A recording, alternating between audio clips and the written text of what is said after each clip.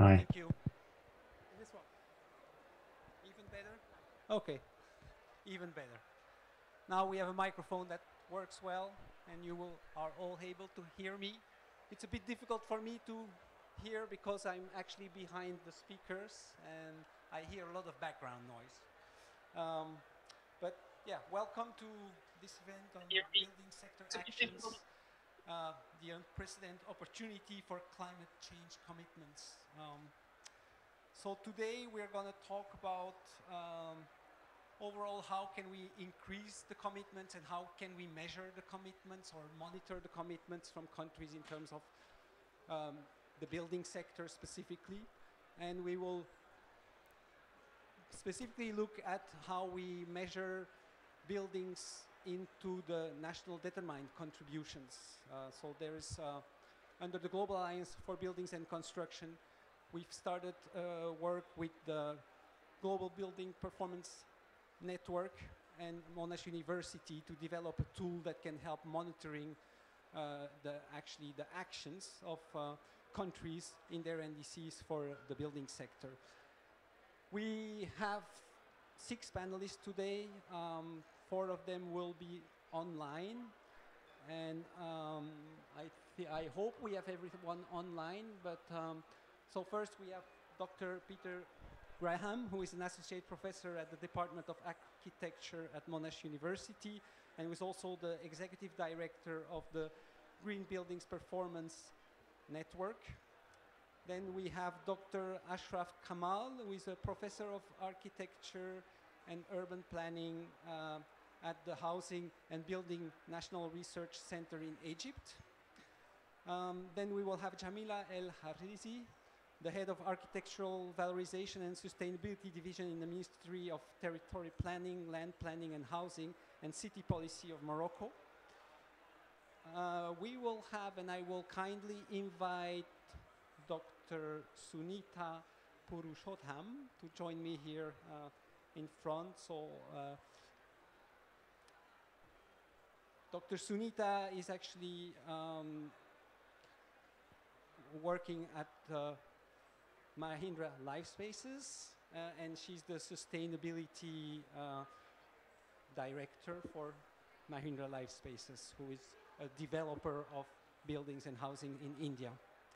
And uh, finally, I will invite uh, Diane. And sorry, I actually, I'm really sorry, I don't see your family name on my notes. and oh, Diane Kral. Sorry, it's difficult when you have the screen in the back. So Diane Kral, um, join us please from Monash University, uh, and yeah, so we have our all our panel set. Finally, we'll have also Craig Burton, who is a senior research manager, Department of Architecture at Monash University and the head of innovation for the Green Building Performance Network. Um, I will start the session uh, by asking each of our panel members uh, to give a short overview um, of like introductory remarks, let's say, to start the discussion afterwards. And um, I would like to start with uh, Dr. Peter Graham, who will be uh, presenting on the 11 criteria that we have selected uh, for front-runner building sector commitments that are built in the tool that I mentioned that we are developing with uh, GBP and the Monash University. So Peter, I hand over to you and I hope my colleagues can put you on the screen. And I guess, oh, sorry. Sorry, I went a bit fast, but Peter, can you take over? Yeah, yeah, absolutely. Um, thanks so much, Jonathan. Just checking you can hear me okay. I can hear you well. Brilliant. Yes, of course, of course. Okay, well, if you could advance the slides, that would be fantastic. So, um, if you've got that that uh, control, then uh, you can move forward in the slide deck there. Um, Can you show the slides? Yeah, or you you can see me too. Hi, everybody. Nice to be here.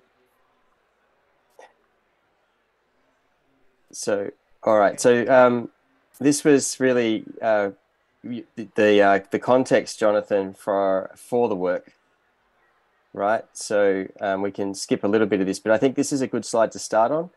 Uh, we have 158 countries who have in, have mentioned buildings in their NDCs, and so this is a very important aspect of. Um, it's a milestone, in fact, that demonstrates that most countries in the world see the building sector as a real focus for climate action. And uh, underneath these 158 uh, countries are thousands of subnational commitments from the private sector, from universities, from uh, state and local governments. So I think we can say definitely that uh, we have a strong commitment for uh, decarbonising the building sector internationally. And our challenge is to turn those commitments into accomplishments. And I think that's really the, the basis for the work that we're doing here with UNEP and, and Global ABC is to try and make it a lot easier for uh, countries, for potential investors or donors, for uh, NGOs who are offering support for implementation of building sector actions to actually find the commitments um, that countries are making, and also to understand whether the commitments that are being made are ambitious and on track for the, the Paris Agreement. So, with that um, basic introduction, Jonathan, I think you could skip through to the uh, the slides which talk about the criteria.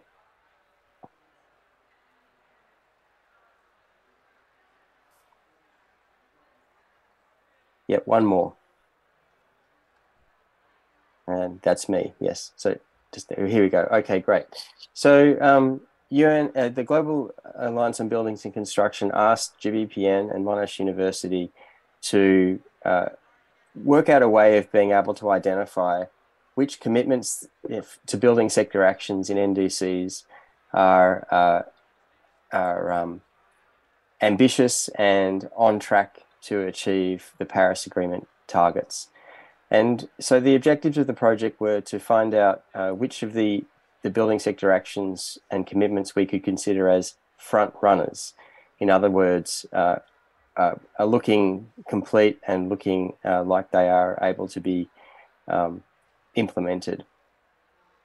We wanted to identify the criteria that would enable us to to determine which which commitments were uh, were what we call front runners, and we wanted to try and develop an online tool which would support countries to in, to uh, be able to find the commitments that were being made by other countries and to use that as a way of learning and exchanging uh, and sharing knowledge about building sector actions, and in that way uh, encourage more ambition and uh, more engagement with the building sector to reduce emissions. So the next slide, please.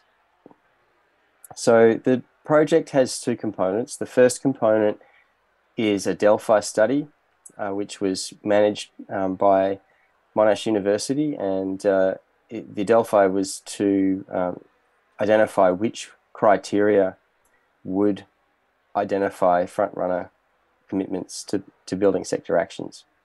So we have 13 experts from around the world which joined a panel, and we ran a, a, uh, a Delphi process of uh, two rounds, well, three rounds, but the third round was uh, as a workshop, and we developed a consensus on what would really be the criteria that would define uh, a good set of commitments to building sector actions.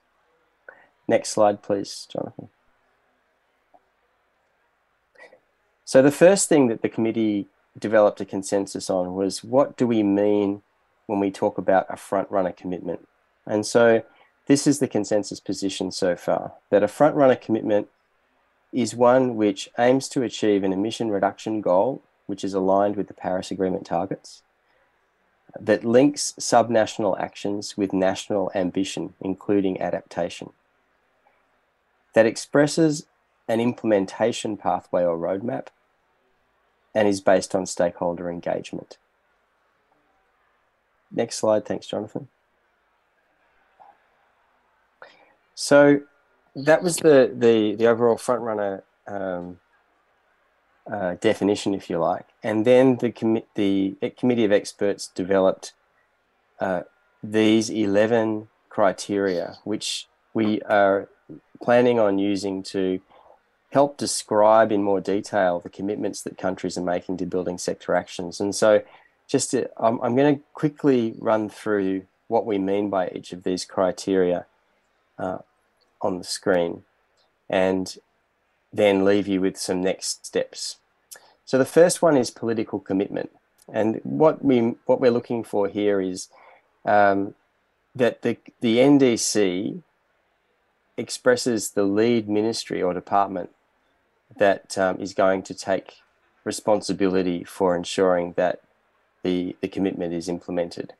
And it's very important that, that the commitment communicates clearly who is taking public responsibility for making the commitment and its implementation. So most NDCs have a very broad um, uh, political commitment and they're often describing the overarching um, responsibility of ministries to achieving the goals of the NDC in general. And what we're hoping we can do over time is encourage countries to also uh, identify which are the uh, the ministries which are um, responsible for ensuring that the building sector commitments are achieved. The second criteria is on stakeholder engagement. And this criteria identifies if a participatory process has been mentioned as leading to the commitments or actions being expressed in the NDC. Stakeholder engagement and inclusion is often implied in the language of NDCs, uh, but some NDCs do actually provide more detail than others on who was engaged in developing the building sector actions and how they're going to be involved in implementation of them. The third criteria is about sector specific targets. And this is one that I think, uh, generally speaking, across all of the NDCs uh, could um, be improved. And that sector specific target means that the NDC building sector actions set uh, measurable uh, set measurable actions for climate um, and, and emissions mitigation that are related specifically to the building sector. You know, so when we look at NDCs, targets are often expressed as overarching to do with the whole the, the national reduction in energy demand or the national reduction in emissions. But it's interesting to see where we could see a mitigation goal or target that's applied to the building sector actions that are being committed to.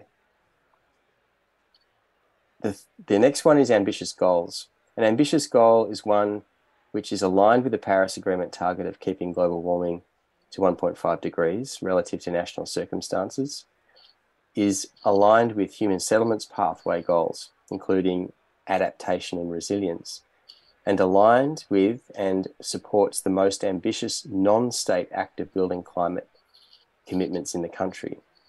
That third point is something that I think we can explore a little bit more with the panelists today, and that is that you know many national national commitments are, are less ambitious than some of the subnational or private sector commitments being made particularly in the, in the time frame being set for achieving net zero emissions.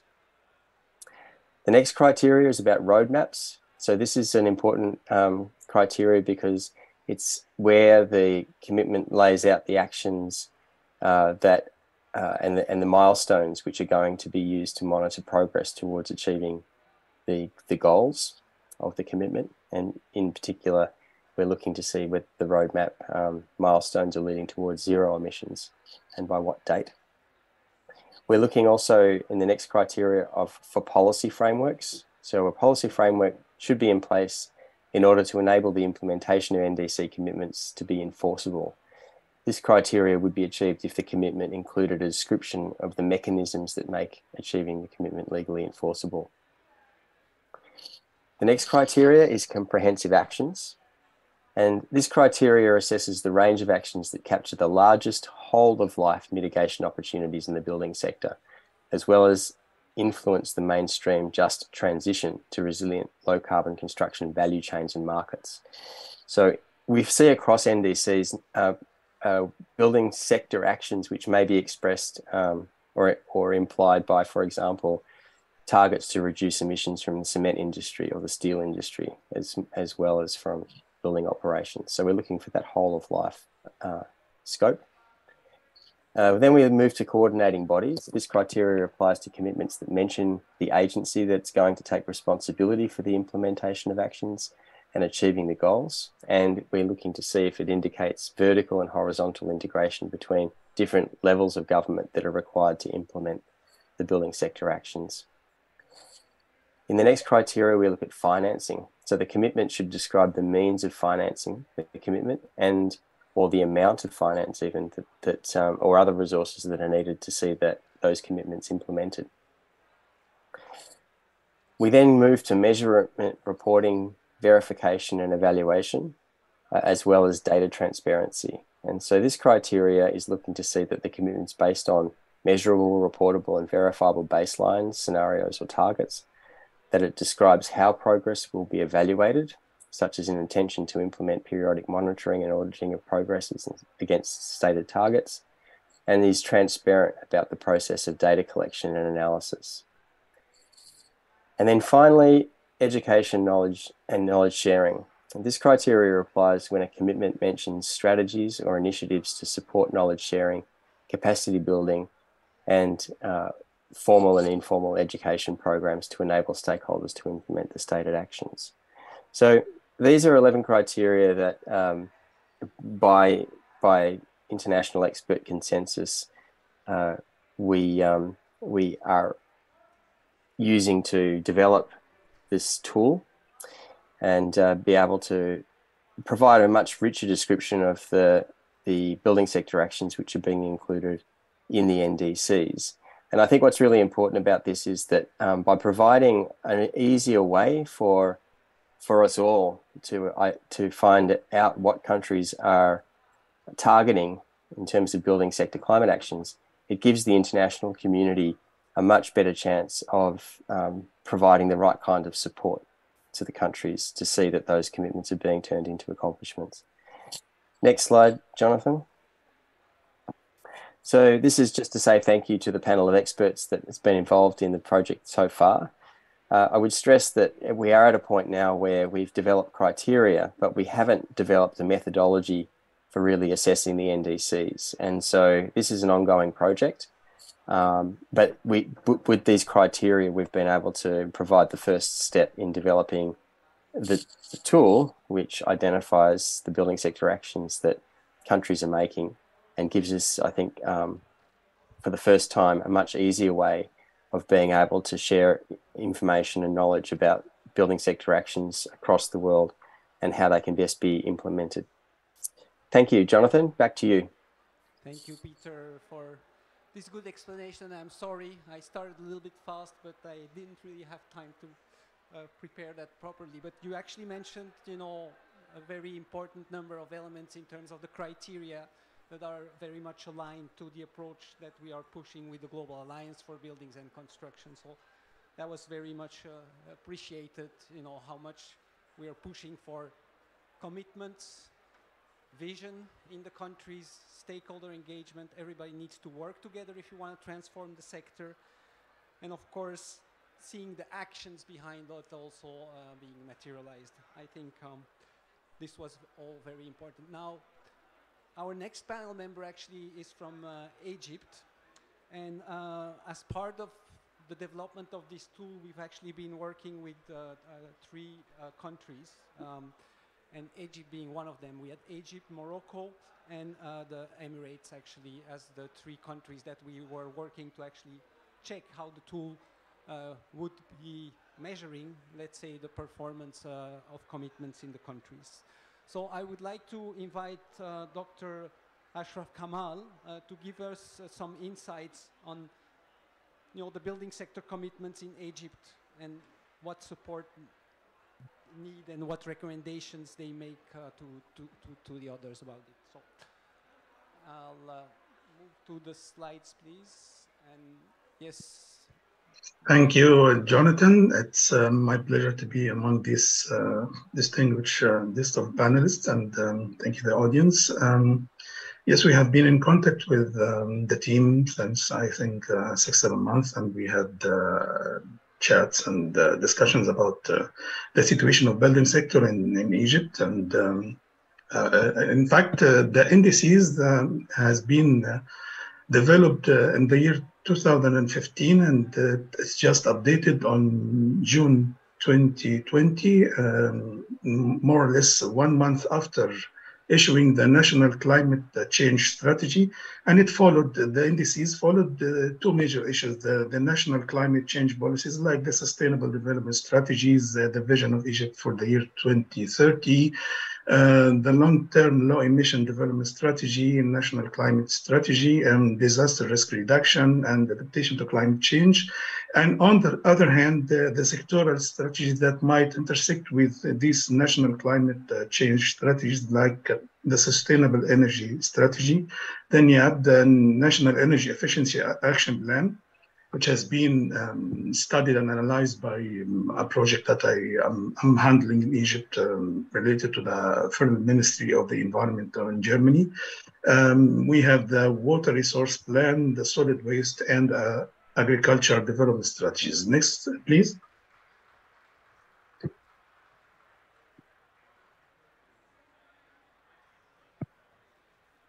Um, to, to, give a highlight, the NDC, uh, had a revision about the mitigation and adaptation plan measures reported in the first issue and revisited the potential mitigation and adaptation actions categorized by sectors over this uh, seven years period from uh, 2015 to 2022 and um, the projection from business as usual, which is the ordinary um, greenhouse gas emissions uh, for the year 2030 and uh, the quantifications required to just me measure the reduction of uh, greenhouse gas uh, reduction related to the implementation of this strategy and other issues related to um, facilitating clarity, transparency, and understanding and disseminating information. Next, please um, sample initiatives like improving the, for instance, the transfer system, which I, I picked up from the NDCs. It's a huge uh, number of, uh, of initiatives, like um, some related to uh, tourism, some related to transport, some related to building sector, some related to agriculture, fisheries, and uh, every other uh, aspects of, uh, of development, but focusing on what is related to um, NDC is related to building sector, like the expansion of uh, metro network uh, in Egypt or uh, Alexandria and the new capital, uh, inserting the light rail transit system, which is about to operate, and the transformation of the public buses from um, high emission to low carbon intensive fuel um, uh, upgrading the, the, standards of living of citizens and access to clean fuel, uh, low investment on energy efficiency measures. This is the, the, highlights and the initiatives that has been settled in the NDCs and confirmed by, by the National Climate Change Strategy, um, uh, avoiding accumulating the plastic waste, the production of green uh, petrochemicals and agricultural drainage on megacities related to treatment plant land. Next, please. In fact, we have we have many challenges in Egypt, like um, I was discussing with uh, some colleagues earlier about the new buildings, which is easier than the existing building. The NDCs highlighted the existing building, building which is huge amount of, of, of dwellings. It's more than 25 million dwellings in, in Egypt as an official number. So uh, I, I, will, I will I'll speak about two issues. The new building is, is, easier because we are we have the renewable energy and energy efficiency use, which is uh, now it's it's being mandatory in like in the new capital and the new developments of uh, new cities. Uh, labeling the, for the energy efficiency and specification, it's now done for appliances, and we are in the process of labeling this for the building material. Of course, it's a long way, but we we just started and it's ambitious, but we are not in a hurry. We, we, we, know it will take some time, but we will uh, we have a plan to, to do this. Um, promoting the green buildings, which uh, HBRC, our Housing and Building National Research Center, had issued the first green pyramids rating system for uh, for Egyptian building, and um, other committees uh, had issued uh, green hospital rating systems and it's still not mandatory and needs some incentives and some enforcements, which I will speak shortly about it. Uh, adaptation and renovation of the existing building, which is hard, but we, we can simplify our codes and our um, uh, norms to, to cope with the existing building because it's, as, as I said, it's a huge amount of, of uh, resources we have.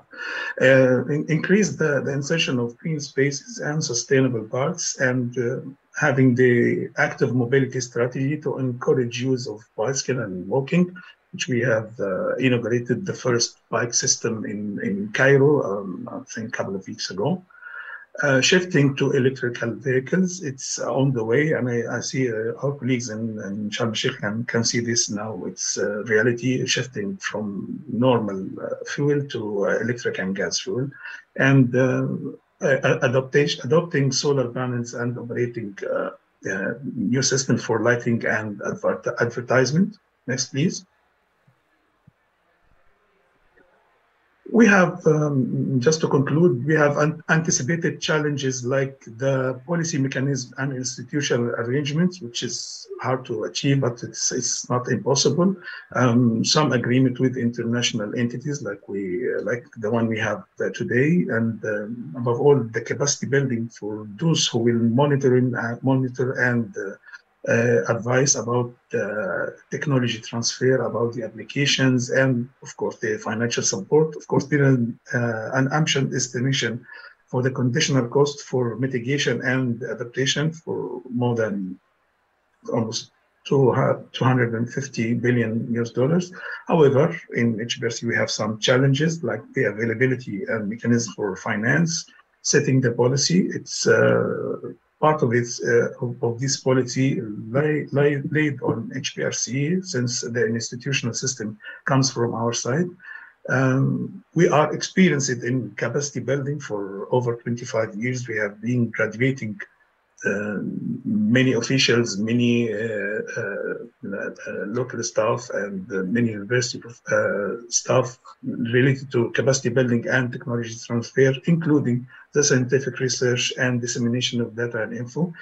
Um, one of our great challenge nowadays is the simplification of the energy efficiency code we have. It's uh, brilliant in terms of science, uh, but it's it's uh, hard to achieve in terms of uh, business model. Um, I hope I, am not taking so long, and um, let's uh, let's for if, uh, if you have any question or uh, remarks uh, you can discuss along the presentation. Thank you. Thank, thank you, Dr. Ashraf. I'm good to good to see the commitments from the Egyptian government, specifically on the energy side, renewable energy, energy efficiency, mentioning about the codes. You mentioned codes are nice, but implementation codes is a challenge, and it's not a challenge only, I would say, in countries like Egypt. It can even be a challenge in Europe. So it's not, it's a challenge overall to kind of get the cost enfor enforced, I would say, overall. You also mentioned quite a bit about transport. Um, and I think if we are moving towards electric vehicles, buildings will have a very important role because actually they will have to power the vehicles also. So it's important to integrate this, I don't know, energy into the building so that actually you can charge your batteries of your car also at the building site. Um, so I think they have an important part in this uh, transformation of the of the transport sector also. But uh, thank you very much. I will now invite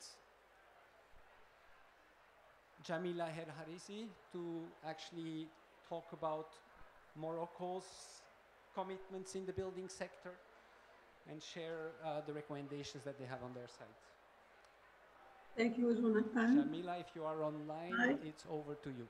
Hear me?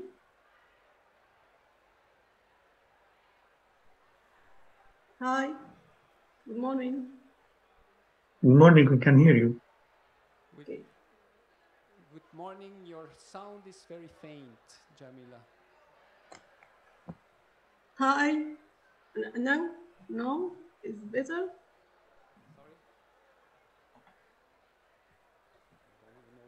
Then, then would you just, just raise your voice a little bit? Okay. Hi. It's okay now. It's okay. Okay. Uh, hi everyone. I want I would like to thank you for inviting me to this event on uh, NDC tool. I would like to thank the Global ABC for uh, associating us in this important work and all ex experts involved in this project.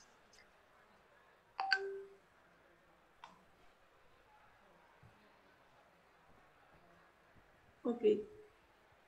Jamila, excuse me. I don't know whether No. you can increase the sound on your side of the of the microphone Okay. because we can hear you, but not very loud. Or I would kindly ask you to speak very loudly if you can. Okay. Hi. You hear me better? Better now? It's still a bit faint, but I guess if there's not much you can do, then unfortunately, we should probably go ahead. Please.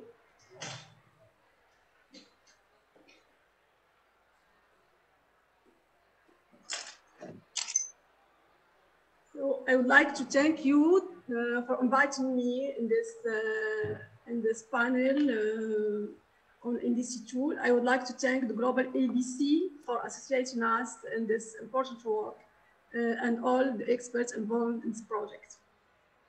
First of all, I would like to present the Moroccan context uh, of the building sector.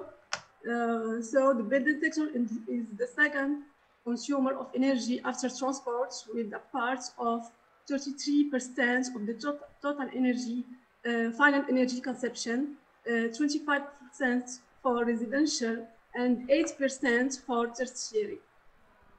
The building sector in Morocco is responsible uh, for 12% of energy related emission.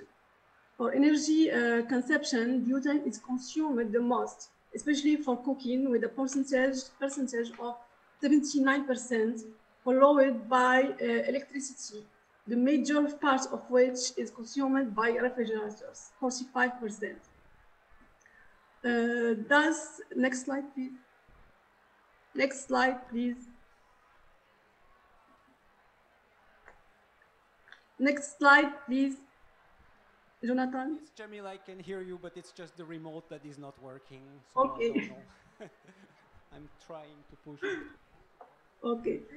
There are similar strategies in terms of energy uh, efficiency and sustainability have been uh, adopted, which include the building sector, especially the energy efficiency strategy, which has set energy saving targets of uh, 20% by uh, 2030, uh, with a part of 40% uh, of the building sector. Also, the National Strategy of Sustainability adopted in 2017 has, has set an objective for the promotion of eco, eco-conception and the long-term low carbon strategy includes actions related to the building sector. The qualitative uh, phase of this strategy is uh, have been developed and its qualitative quantitative phase is under development. On the legal and the regulatory framework, framework Morocco has uh, adopted the law on energy efficiency, which was followed by the development of the first general uh, regulations of Morocco. Next slide, please. Uh, for the new uh, national deter determinate contribution of Morocco that was submitted in 2021, the ambition of Morocco has been raised compared to the first one, the first one that was submitted in 2016. Thus, the new target the, uh, is the reduction of 45.5% of greenhouse gas emission by 2030.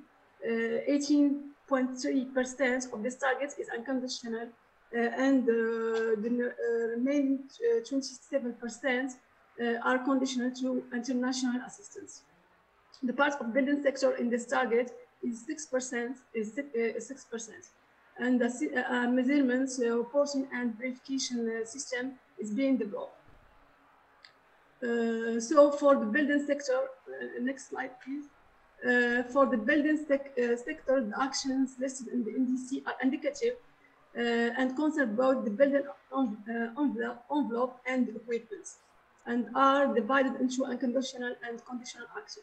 The reduc reduction potential of the building sector is more than uh, 24,000 gigagram, gigagrams CO2. Also, the novelty of this uh, NDC compared uh, of first one, the, to the first one is the adaptation component, uh, which has been strengthened in this NDC. So the building sector is also included in this in the adaptation part of the new NDC.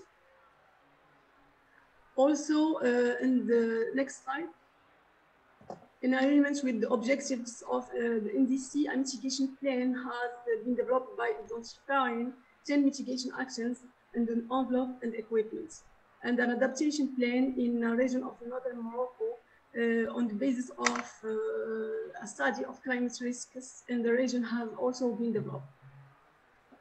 I would also like to, uh, to mention the pilot, uh, some pilot projects uh, we are working on with our national and international partners. Uh, next slide. Partners. the first project is Building Passports project in partnership with the Global ABC. Uh, so building passports is a digital register uh, that collects diff different types of data and information related to the building sec uh, sector and in order to improve the quality in the construction sector. Also, concept notes of two projects are being prepared for submission to the Green Climate Fund, the pilot projects for energy efficiency housing and, uh, and thermal rehabilitation of the exist, uh, existing housing stock in partnership with the Center for Climate Change and UNDP. Also, as part, uh, as part of uh, the adapt adaptation plan, a concept note of a regional project with Egypt to strengthen the resi resilience to climate change of res residential neighborhood is being developed in partnership with UN Habitat for submission to the adaptation plan. The last project I would like to mention is the project uh, involving the living condition of uh, rural households in mentioning areas affected, affected by climate change, which is a pilot project targeting the deep rural mountainous areas that are experiencing difficult climate condition, It aims to improve the living condition of these uh, residents uh, of these territories and reduce the impacts of climate change. Uh, next, next slide, please. To conclude, I would like to share with, uh, with you some perspective of our actions we entered, uh, entered to work on. Uh, so uh, we want to work on strengthening the regulatory, and normative framework to promote the use of local materials and process, uh, the use of innovative, materials and process, then evaluation, the application of the thermal regulation and its uh, updating, uh, and also for water management in the residential, residential sector. For funding and incentives, uh, we want to develop funding mechanism, seizing the opportunities offered by climate finance by setting, and, setting up uh, bankable projects, developing incentive mechanism for energy and uh, efficiency and water saving in buildings, uh, also, among our uh, among our, our objectives is, develop, uh, is developing projects for energy efficiency, new housing, energy and thermal rehabilitation of existing residential stock, pilot projects for water efficient buildings, uh, and in terms of uh, partnership and collabor collaboration, we work on strengthening the collabor collaboration and joint action between the various the different stakeholders in the building sector developing international partnership action, and uh, strengthening South-South uh, cooperation on sustainability, sustainability. This is the end of my presentation. Thank you for your Thank you very much, Jamila, and, and sorry was not easy for me to switch all the slides, but uh, we managed. Uh, very good to hear that you know from uh, the Moroccan side I can we can see quite strong commitments and a very clear direction of where you want to go. Um, and you, you mentioned issues related to adaptation that were not mentioned earlier, and I think adaptation is also a critical issue to look into when we look at the buildings and construction sector overall. From the two presentations that we had on the countries, I think if I think about the previous session that we had, the issue of embodied carbon or materials is not coming up yet that strongly. So I mean, it shows that I think what we said earlier that most of the countries certainly know about the whole issue about renewable energy, energy efficiency, and really started to take action toward this, even if you know there's still quite a need and quite a number of challenges. But it really shows that that's the path that has been focused on for quite some time, this operational energy, and that now there's a need to start moving into the next phase where we also look at the embodied carbon uh, related issues. And, and there I know um, with the work that we're doing in Morocco, looking at the building passport, is actually also trying to see how we can uh, look at this specific issue um, um, through, the, through that tool. Thank you. So um, I will now invite Dr. Sunita Purushottam, please, to uh, join. I mean, I'll give you my microphone, actually. Thank you. I have a few slides. Yes. So I'll stand here because it's easier. Um, so uh, I represent Mahindra Lifespaces. Uh, I head sustainability for Mahindra Lifespaces. We are a developer uh, into two specific types of development, uh, integrated cities and industrial clusters and residential properties. Uh, residential segment, we, are looking, we look at affordable, mid-segment and premium as well. So that's the entire range of work we do and uh, that sets us, uh, you know, on uh, a path where we have been pioneering sustainability in the real estate sector. So I just want to provide uh, uh, an overview of, uh, you know, some of the commitments that the corporate sector can take. And can I have the, yes, yeah, thank you. So um, it's complicated, ESG commitments, and uh, and I would like to put more on uh, you know S and G as we progress further. Uh, this is very environment heavy, but nevertheless it's a complex uh, set of commitments to navigate. And uh, I wanted to share that we are the first and only real estate company in India to have science-based targets approved uh, in 2019 and uh, there are a few more who have uh, you know wanting to commit uh, and get their targets approved uh, to SBTI. Uh, SBTI commitment here focuses on our operational carbon emissions, operational carbon emissions, and it covers scope 1 and scope 2, 63% reduction in absolute emissions by 2033, 20% uh, reduction on scope 3. However, we have actually taken a more stringent scope 3 uh, target uh, around our buildings. And we have gone ahead and said that we are in for decarbonizing our built uh, environment. Uh, by 2030 all new developments will be uh, net zero. So that's the uh, commitment for all new developments the other group level target we are part of Mahindra group and it's about reaching carbon neutrality by 2040 so 10 years ahead of uh, reaching our carbon neutrality, our buildings and all new developments need to be uh, net zero. And that's very difficult and we are building a roadmap for that. Uh, while operational energy and uh, waste um, uh, targets could be slightly easier to uh, achieve. What we are finding very difficult to do is to uh, figure out what we have to do around uh, becoming net zero water and that's a very critical problem because of the density of development, the availability of rainfall, the acceptance of recycled water and so on. So bringing that into the carbon picture as well because if you make your buildings water efficient, actually you're reducing carbon because that the pumping energy and the cleaning energy that is associated, so the energy water nexus really needs to be explored deeply. Uh, of course, uh, zero waste to landfill. One of our cities is uh, certified zero waste to landfill. and we aim to achieve water positivity for our developments. We're looking, exploring how we can go about doing that.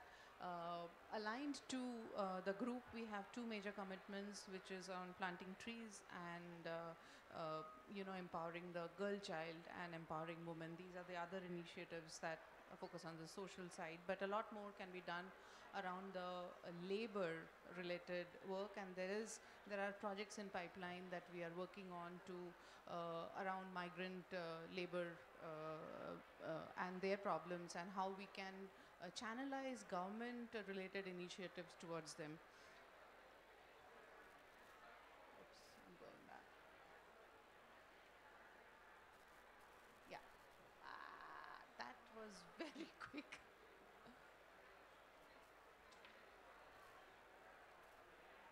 Yeah, so this is our approach to planet positive uh, uh, developments. So, how are we going to meet these targets? It's about uh, how we look at demand reduction, energy efficiency, uh, renewable energy usage, adopting material circularity, uh, reduce reuse, and get more uh, carbon positive materials into our buildings, reduce, reuse, recycle, harvest water, and ensuring zero waste to landfill.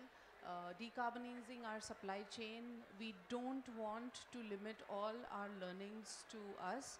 We want to influence our supply chain and influence further as well. And I'll talk about it, how we are going about influencing, uh, going beyond our own supply chain to the entire sector, uh, accelerate the EV transition, uh, and look at how we uh, also make the construction part uh, efficient because that's very difficult looking at the extensive use of diesel and electricity while we construct. Um, and uh, one of the key things that we've been working on is looking at rejuvenating nature. Uh, biodiversity studies have now become a part of our work uh, because how do we, uh, during the construction phase, protect the biodiversity at site and also enhance the biodiversity through positive developments? So, uh, materials and technology are key. So, sustainability and technology are two key pillars that the organization has adopted for uh, its strategy for uh, developing uh, and building its huge portfolio. So,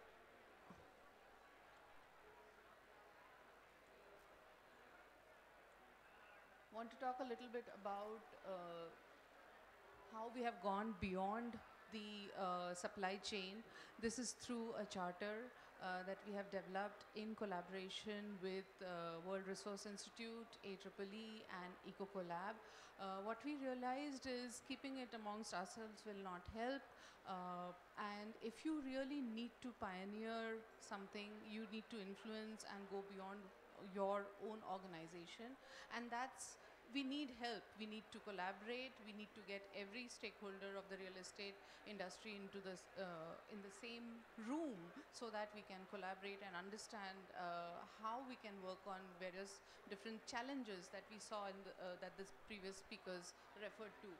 So uh, we developed a business charter and this has six priority actions where we brought in uh, science-based targets as one of the uh, action areas uh, designing net zero buildings, uh, uh, also improved operational efficiency for net zero buildings, uh, mainstreaming low carbon materials, look at who are the vendors who will be able to come in and demonstrate carbon positive alternative materials, and mainstream codes and standards uh, and enable the monitor, monitoring and tracking performance of net zero buildings. So uh, anybody in the value chain can sign up.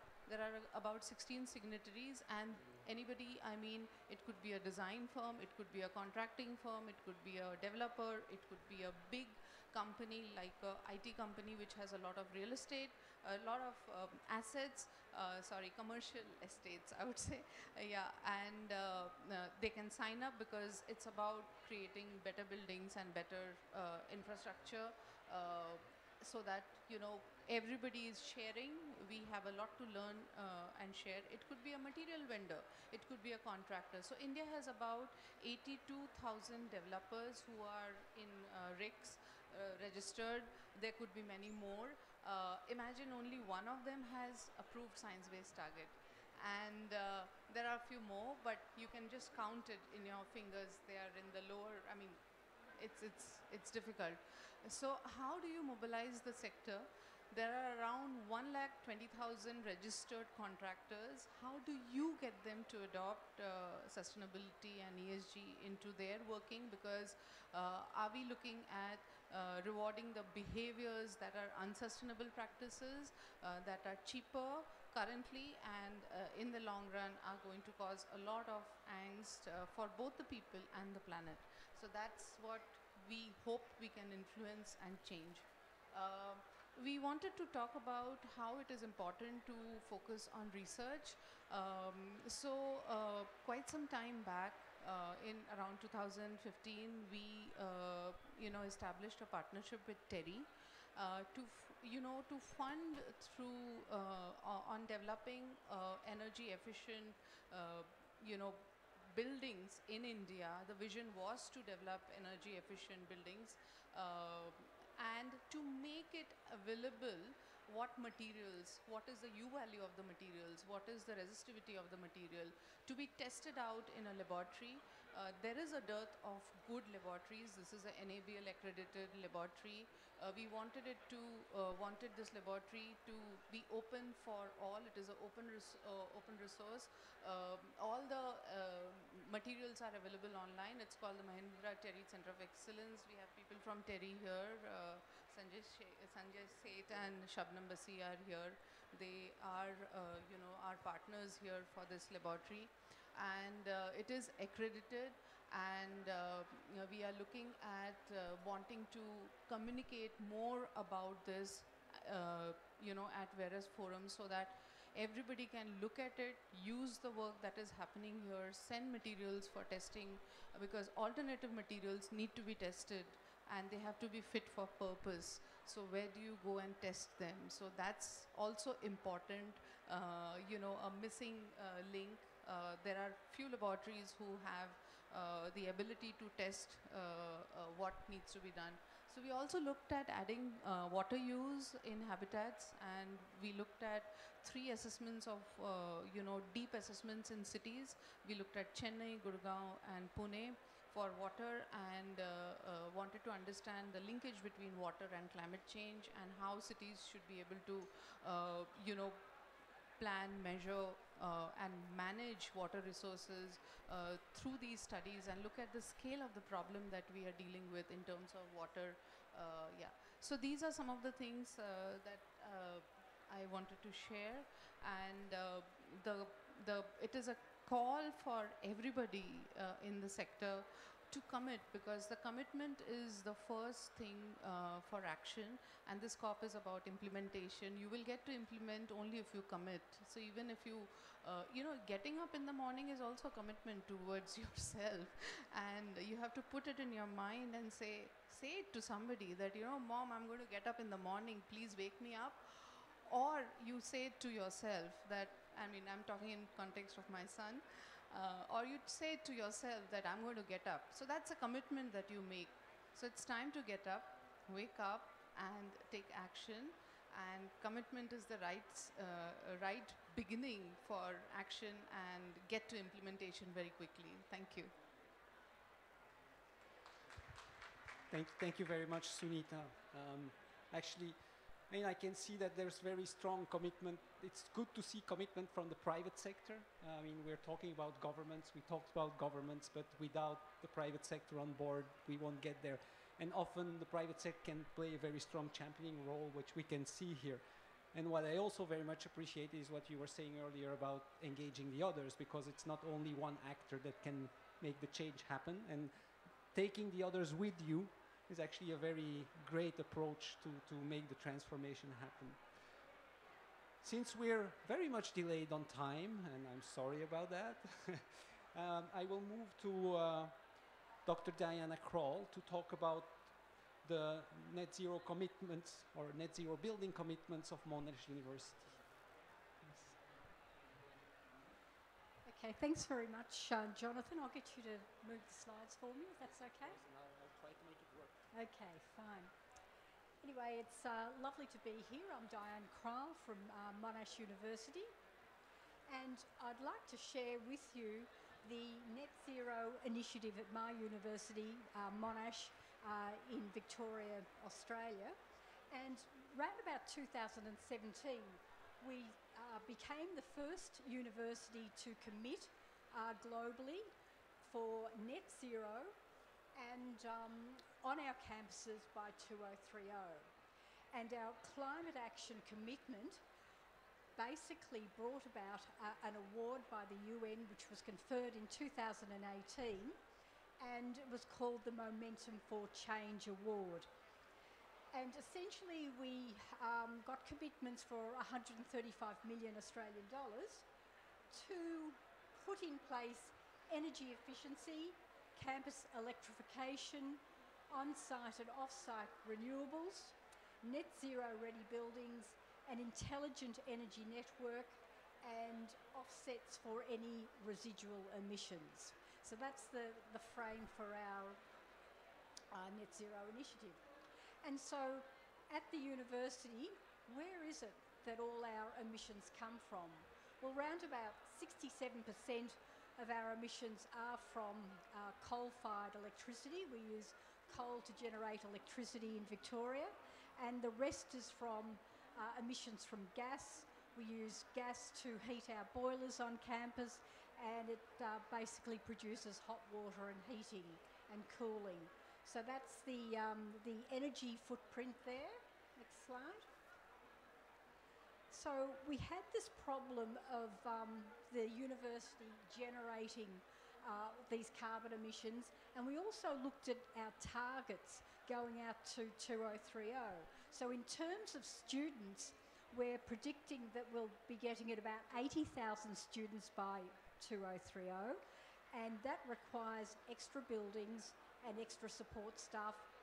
And if we had have kept on the path of coal-fired electricity and gas, uh, we would be um, in a very uh, uh, dire situation. So basically we decide through this initiative to reduce our energy consumption to 400,000 gigajoules by 2030 and also to ramp up our renewable energy to 100%. So 100% renewable energy, that's our target by 2030. And that's the basis for our uh, net zero um, initiative. So more students, more buildings, so we had to reduce. And again, uh, building configuration, energy efficiency, campus electrification, on-site and off-site renewables, and offsetting uh, residual emissions. So I've just got a, a few little uh, notes here I want to share with you about our net zero initiative. So we are Australia's largest uh, university and of course we've now committed to uh, get to net zero by 2030. And not to, not to forget, we have been decarbonising our campus uh, since 2005. And it's through innovations and partnerships that Monash has embarked on this deep decarbonisation journey, integrating research and teaching in the process. And in particular, Monash's approach consists of a strong emphasis on transforming our campus buildings that can be replicated well beyond campus boundaries and innovating how we store and use our energy. We store our energy at the moment, our renewable energy, on a giant battery on campus, and also by engaging our local communities to help create a clean future. So, okay, we're a university that's trying to decarbonise, but what's so unique about the Monash approach? Well, we're the first university to issue a climate bond. And so far we've raised in Australian dollars 285 million. That's not bad. And so the net uh, carbon initiative, initiative is designed to make the university's buildings what we call living laboratories. And so we're better designing our buildings under high performance passive house principles to continue best practice sustainability and comfort. We've been replacing our inefficient gas boilers with electric pumps and our thermal um, building uh, precincts are being made more efficient. in regards to heating and cooling of the campus. We've also gained funding from state and federal governments as well as industry to develop a market leading microgrid. So we've got a microgrid on campus, pretty exciting. So what have been the, the short-term results of this initiative, uh, particularly you know in the early days from about 2018? Well, first of all, uh, we implemented 11,000 LED lights across all our campuses, so that was um, uh, quite big. We've installed um, more than 4,000 solar panels uh, to bring our existing rooftop solar capacity to 2 megawatts, enough to power 320 average Australian households. And there are plans back in 2018 for 7,100 extra solar panels or 4 megawatts of energy. We've also signed uh, at the time a long-term power purchase agreement with a regional wind farm. So we're bringing in wind from a regional area. Uh, we've commenced a rollout of th uh, thermal precinct electrification strategy with upgrades, uh, both in the medicine and science precinct. We've installed a state-of-the-art one megawatt hybrid uh, energy storage system on campus. We've, we've installed uh, electric vehicle charging facilities and of course we're building uh, a market leading microgrid on our Clayton campus. So that was back in 2018. Those were the, uh, the, the, quick initiatives. And what about uh, more recent projects uh, process since um, uh, 2022? Um,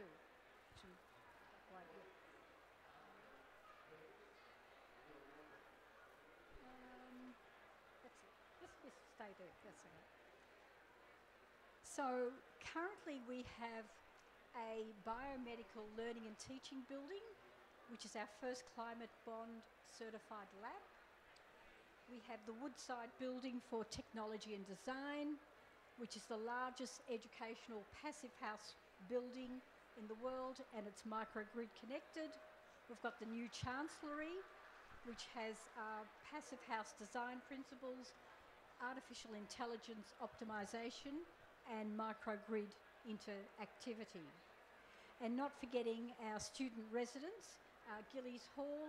It's the first large-scale building in Australia designed with passive house principles. So Monash has also been progressively upgrading its um, net zero plan for decarbonisation since 2018. So things such as matching our renewable energy supply to our demand side profile. So what's next?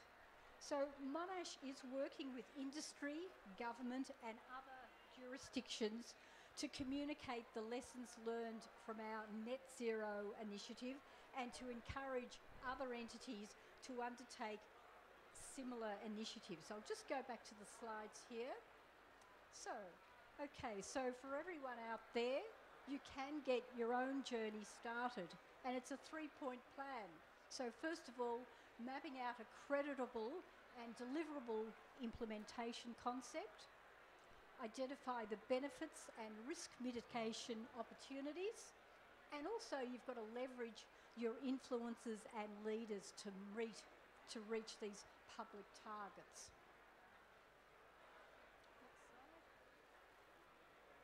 So this dynamic and progressive implementation approach will mean there'll be a leverage of quick wins using existing processes.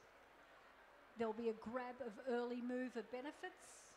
You'll be able, hopefully, to establish market leadership and also there should always be innovation through external partnerships. Thank you very much.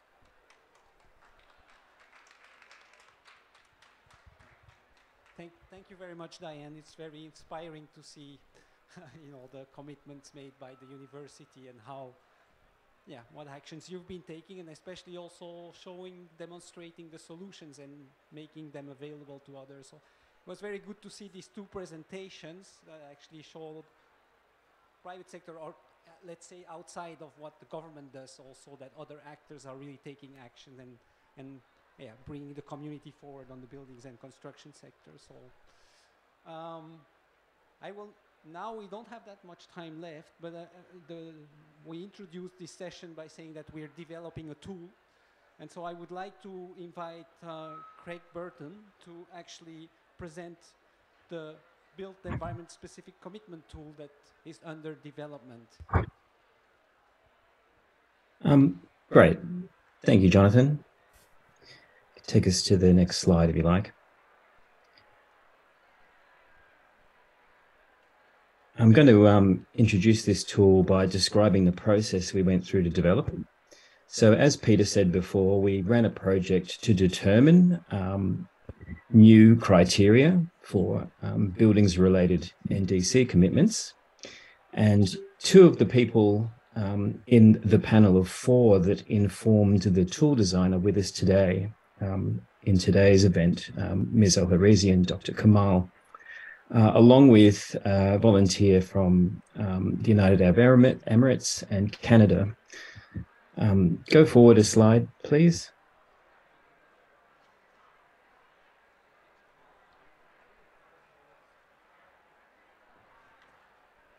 All right, I'll keep going. I think we might have lost the room. Okay. Nope, there we go. It's good. Thank you. Um, so the the diagram shows basically there were rounds of user-centered design. So um, we interacted with the representatives from the four countries to determine the challenges that they were having uh, in decarbonizing their building sectors and also the opportunities. And then uh, we took these uh, this information away and it was used to formulate further questions to define what kind of tool would serve these people. So the U, UX panel, the group of four countries, were really playing the role of future uh, users of this tool. Um, next slide, please. And this is the way the tool appears at the moment. So it's a prototype. Um, the final tool, which will be built in a later phase of the project, would ask you first for your preferred language and region of interest. In this case, it's showing MENA and the hosts of um, COP27. And the way the tool works is it uh, colors the map um, based on different countries' NDC commitments, including buildings. And um, the the uh, drop down at the right is shown, and it's the uh, WGBC roadmap. So there's a roadmap for decarbonisation of the building sector, and it breaks the building sector down into new buildings, old buildings, as Jonathan mentioned, uh, materials. And so the future tool will allow you to select one of these things and then see the map recolored, and you'll access the data pertinent to that part of the um, of the roadmap. Um, to go further, you just click on one of the countries. In this case, you click on the name um, uh, Egypt. Do you want to take us forward a slide, please? And here uh, it shows the um, built environment related uh, criteria for Egypt. And there's all, um, all of them are listed down the right hand side, all 11. So if you scroll, you see them all. Um, it also allows you to uh, click and find out about emissions. And if you take us one uh, slide further, here is the information that comes up. So what's taken here is an example from financing, which is one of these new criteria. And it's a grab from the NDC or uh, the translation or a summary at the top. There'll be a future link explaining how these commitments are um, judged in terms of their um, abatement potential. And then at the bottom in the blue box is a kind of a value add, a bit like the climate action tracker, where an expert comments on the country's commitments and the potential for um, more action. Can you go down one further?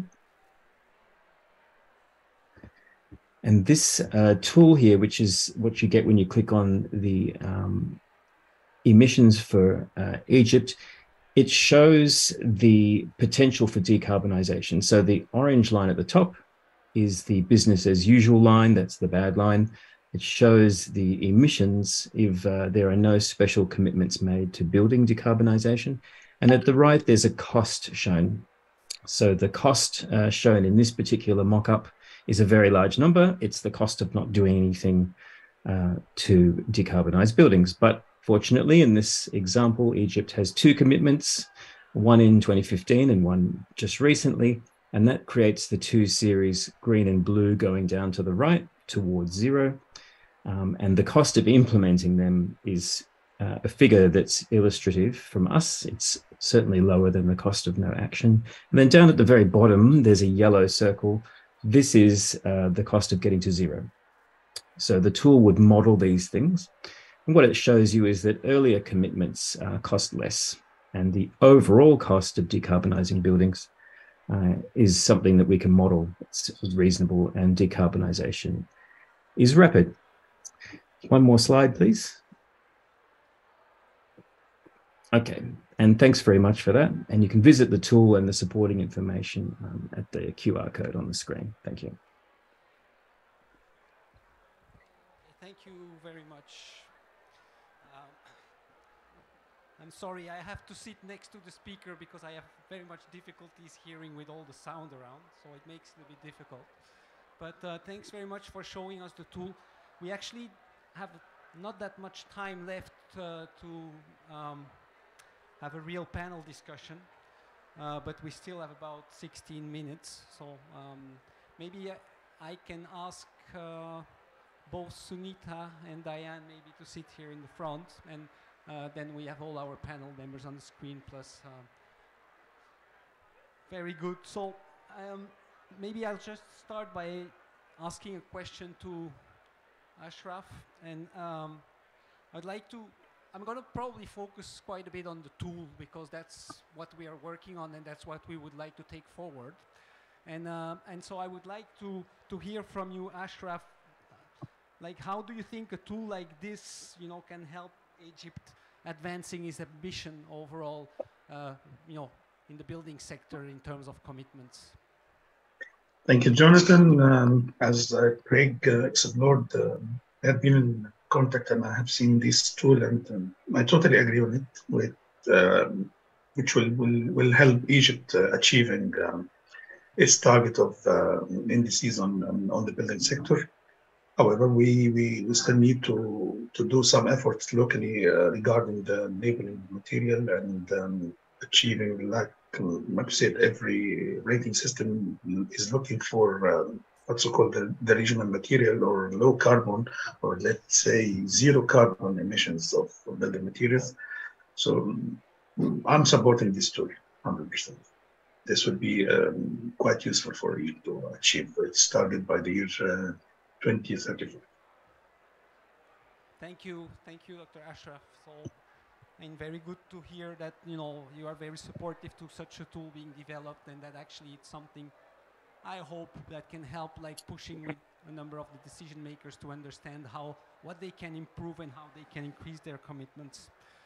Um, I'm just maybe I, I just have a, a small follow-up question for you. Is like you know more on the on the stakeholder engagement and and the NDC because I mean even if you have the tool that will be providing you with a pretty good picture, you know how do you think you need to engage, you know, all the stakeholders actually to in, to actually build those commitments?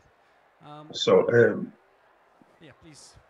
And just one small issue, maybe answering your question, is about the business model of this tool. It's, it's not uh, creating something uh, scientific and uh, disseminating to the community or the stakeholders, and then they will agree. No, no, it's it's it's not working like this. We have we have developed our first issue of the energy efficiency code in the year 2005, so it's uh, 17 years, and it's not mandatory yet. Um, the reason why it's uh, the, the the code is scientifically brilliant, but it's not achievable. It's almost doubling the cost of the building. So um, every investor, even the government, is running away from this code. By simplification of the code, which we are recently uh, developing in HBRC, because we, we, we have uh, we are the, the entity who, who issued the, the, the, first code, we are simplifying the code into like like uh, steps, like stair you cannot climb the 10 floors at one at once. It's it's really impossible, but we can climb step by step um, to achieve to achieve this. If we if we look at Europe, uh, Europe spent 40 years and we cannot achieve this in, in just four hours or four days. So um, we are quite sure that uh, having the business model, which part of our staff, one one of them is my, is, is myself, is is experience in, in developing this business um, business model and achieving the decision maker with um, what's so called the cost benefit analysis. Um, what sort of benefits we are going to achieve by applying this code, uh, by uh, applying this uh, net zero emission uh, building, um, let's say zero carbon emissions. Um, I mean, the whole story and what sort of expenses we are going to pay if we don't do anything because it's it's quite uh, let's say uh, quite horrible quite um, scary like uh, so the, you can see this uh, these uh, measures of the climate change, um, uh, rising sea level. Um, um, we are we are facing these these um, these changes recently since five six years, and it's becoming clear that we need an action. And luckily, we have these updated NDCs. We have ongoing um, this issuance of national, uh, national uh, climate change strategy, which has focused on 20% of its goals into the scientific research and dissemination of information and engaging of stakeholders, not only the community, the private sector, the industry, the scientific research, decision maker, into one panel uh, for the country. So um, I'm, I'm quite confident that we will achieve something. We are used to, to work under pressure and under challenges this is where we we do our best uh, to achieving uh, something to the to the to the country and to the globe. Thank you. Thank you very much, Dr. Ashraf Miol, to actually provide more uh, elements about you know the commitment and the engagement of the actors and and how things have already been uh, progressing quite a bit over the last years in terms of pushing the the building energy efficiency agenda overall. Um, unfortunately, I think Jamila had to leave us because I, oh, Jamila, you are back. Very good. so I actually, uh, the, the, next question I wanted to, to ask uh, you uh, in Morocco, and um, you've actually shown a lot of like, you know, the, the, the, strong actions that are being put forward and the vision that Morocco has in terms of transforming uh, the building and construction sector. And um, so I, on the one end, you know, we mentioned about the tool and I was asking Dr. Ashraf, okay, so what, what benefit do you see in the tool? And the question I would ask you is like, uh, you know, with the tool actually, um, how do you think the tool can actually help to some extent taking forward some of the ambition actions that Morocco has been putting forward and whether the tool will help uh, in that direction to maybe mobilize some of the partners around the issues or um, so getting your perspective on that. So I can speak in, in French. You will have to speak up, I think, and speak as loud as you can because we we have difficulties, unfortunately, hearing here in the pavilion because it's very noisy outside. Sorry. Okay. You hear me now? Yes. Yes, okay. Mm -hmm. Uh, so the tool, uh, it's uh, it's important to work, and we are pleased to to be in part part of it. so the, the, tool we can, as was presented by Mr. Greg, uh, will help us to uh, to to demonstrate the percentage of uh, action in building sector in the NDCs, so we can compare our action with with other countries and uh, also uh, can um, um uh, can promote. Jamila, I'm, I'm, sorry. I, I, okay. Maybe there's not much you can do about it, and then you can tell me. But it's very, very difficult to hear you. so I don't know whether there's, and I know no. you tried already. no, it's better. Slightly, but you know, I think we if it's not possible, then I mean I, will probably move to the next panel member because uh, yeah, it's very very difficult jo actually. Jonathan, can can you can you hear me? Okay. I can hear you. Okay. Uh, I could hear mm. Craig very well also. I, if I if I may then, because I could hear Jamila perfectly, and and uh, forgive me, Jamila, if I make a mistake. But uh, what she was saying was that the the tool is uh, useful because it'll enable Morocco to compare uh, the building sector actions which are being committed to in Morocco with other countries. It provides a, an important aspect of um, transparency and um, and uh, generally increasing awareness. Mm-hmm. Thank you very much, Peter. And, and I hope, Jamila, this was a good representation of what you were saying. Yeah, thank you. Peter. okay. okay, thank you. Uh, thank you very much. So um, maybe I'll turn to uh, Dr. Sunita. I have a question for you. And um, I mean, you've been mentioning about the private sector, but I was wondering, like, from your perspective, seeking the private sector, you know, what support do you need from the policymakers? Uh, it's a large question, I know. So, thank you. Uh, definitely need support from the policymakers.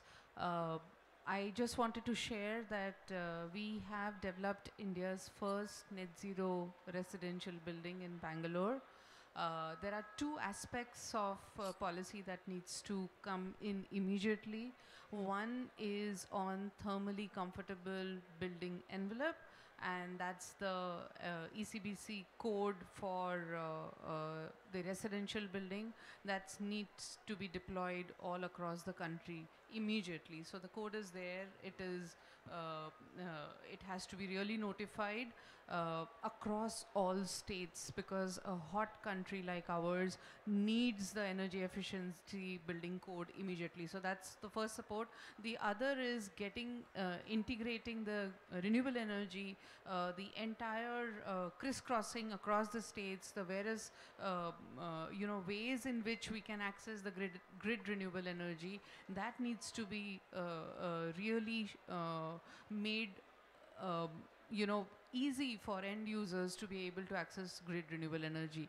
So that's the other policy support. It's very complicated to navigate uh, the state level uh, policies uh, to figure out, okay, this works in this state, that doesn't work. So if I have a portfolio to develop, then maybe I will choose not to develop in those states. So what we need is across the country, uh, uniformity around how we can access grid renewable energy and that needs to be measured uh, and the other is the energy efficiency code that needs to come in immediately.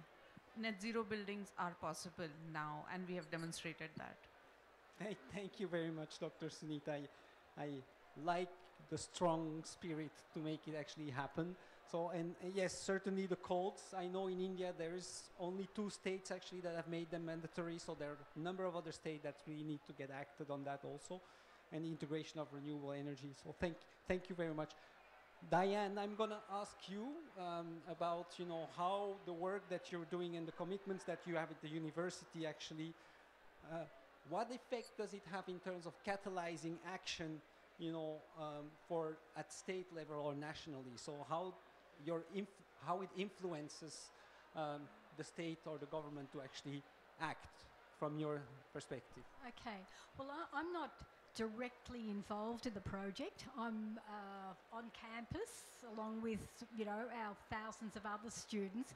And one of the things is we've, been very proud of what um, the, the core researchers have been doing on the campus in regards to net zero. It's really, you know, uplifted the, the, the, spirit and, and the commitment. And, you know, we're a research university and we've been saying for a long time, where's our contribution to lowering CO2 emissions? So it's had this beautiful uh, flow-on effect uh, to everyone that's, you know, engaged on the campus. But in terms of um, how our program, the Net Zero Initiative, is affecting, say, um, the wider state of Victoria, we've actually got um, three uh, precincts that are replicating our microgrid. So we, the campus is a living laboratory and we're sharing our findings with um, others beyond the campus, within the state, and uh, there's even uh, an initiative, I think, in uh, the next state of, of, New South Wales.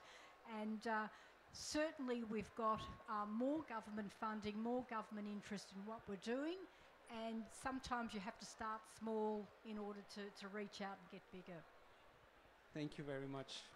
That's a very important element is like start small and then actually make the change happen uh, by growing and influencing others and engaging them. So, um, so we are nearly at the end of our uh, session and we have four minutes left, but maybe I want to turn to my colleagues, Craig, Peter, I don't know who wants to answer, but I would like to kind of get your perspective on what are our next steps now with the tool and you know how we are going to bring it to the next level.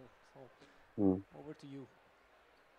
Well, thanks. Yeah, thanks, Jonathan. Thanks everybody on the panel, and thanks to everybody who has been listening online and in the room, and thanks for putting up with the background noise as well. So the next, yeah, the next steps basically for um, developing the tool, as I said, with the criteria. Uh, the next steps is to to work with the experts and work with the countries to develop a method for being able to properly assess the NDC commitments against the criteria, and feed that information into the tool, and uh, to bring more countries on board. Uh, in the background, you know, across the network of the Global ABC and um, researchers at Monash and other universities, we have a very good understanding now of what uh, building sector actions are included in NDCs. And so uh, there's a, it's really a great opportunity to bring that information forward and make it really accessible through the tool. Um, Craig, do you want to mention next steps or an invitation to to look at the tool and to to um, follow up? Yeah, um, sure, I would. It's um, the tool is is really intended to be um, um, a positive a positive message so it there's already interest in uh, commitments in this in this sector. So as Peter said, there's 158 mentions, countries mentioning buildings already. So the tool is there to provide um, a, a, positive message as more and more specific commitments are written for this particular sector, and it should be clear and easy to see this uh, in in the new tool. And um, so yeah, I want to thank the um, Global ABC for uh, supporting this, and hopefully we will build this next year. Thank you, Peter, Craig. So I agree, we need more countries to join, so that's really our next step, and so that we can show really more globally where the countries stand with their commitments. And hopefully it will also create a movement between countries, you know, to kind of put more stronger ambitions on the table also when they compare themselves to uh, their, their peers um, and also can learn from them, their peers, I would say, on how to uh, increase their commitments. So um, with this, I would like to actually thank all the panel members, Dr. Sunita, Diane, thanks for being here. Ashraf, I'm really sorry that we didn't have you physically here because you're actually from Egypt. And it's very unfortunate that we didn't have you here in the room with us. Jamila, I know we are in contact regularly, but I'm very happy to see you here uh, also in our event and for all the support you're giving and all the great work that we're doing with the Moroccan government.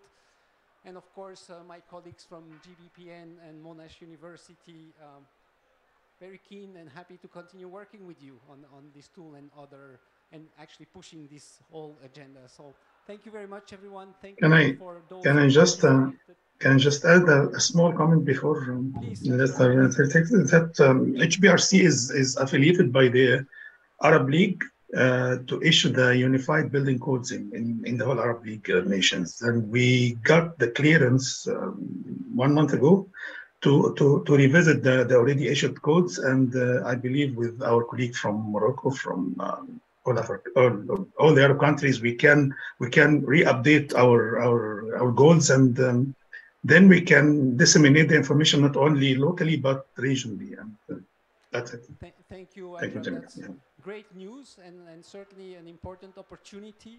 Um, and the building codes, everybody agrees that that's one of the key tools to actually make the sector advance. Uh, so, and, and there's certainly a need to